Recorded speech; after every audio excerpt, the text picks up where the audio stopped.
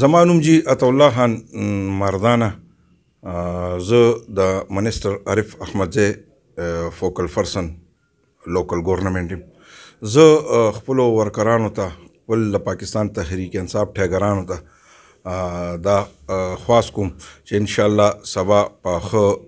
غن تعداد کې په جوش او خروش کې روزه او ان شاء الله دوه بجو لا پندال ته ځان ورسوي او ان شاء الله تعالی دا جلسه به کامیاب او ان شاء الله تعالی دا به شب قدر په تاریخ کې یو کامیاب ترین جلسه سینی رهنما پاکستان تحریک انصاف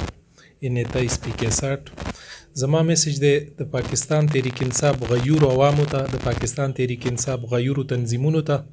چې سبا د جمعې په ورځ په شپږشتمه فرورۍ د مونځ نه پس دریاب به مقام دریاب کورونو کې زمونږ د وفاقي وزیر عمر ایوب صاحب راتګ دی هلته به د مختلف سیزونو اناګوریشن سرمنی کوي چې په هغې کې پاور ټرانسفارمر دی سیو ګیس دی چار سو او پچاس کیلومیټر او نوې ګریډ سټیشن دی به مقام صدر غړی داغه اناګوریشن بکی زما انصاف یوت وینګ ته انصاف سټوډنټ فدریشن ته انصاف کلچر وینګ ته مرګری استادان وکیلان بالخصوص ټول ان تاسو ته دا درخواست دی چې تاسو په دې جلسه کې خبرې واورئ